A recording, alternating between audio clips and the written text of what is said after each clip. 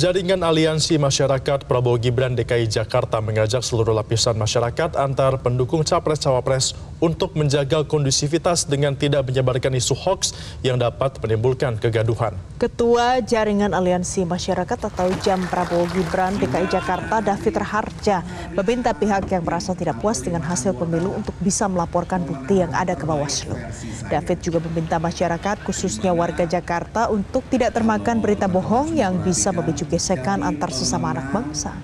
Pasca penyelenggaraan pemilu 2024, masyarakat terutama para paslon hingga simpatisan Capres-Cawapres 01, 02, dan juga 03 diharapkan bisa kembali guyup, rukun untuk sama-sama membangun Indonesia menuju Indonesia emas.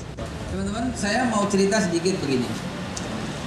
Ini saya ambil kita menghimbau tidak menyebarkan hoax, uh, tidak melakukan demo-demo yang sifat anarkis, ya tetap berusaha percaya kepada KPU, Polri, TNI, di mana mereka semua sifatnya netral. Jelajahi cara baru mendapatkan informasi. Download Metro TV Extend sekarang.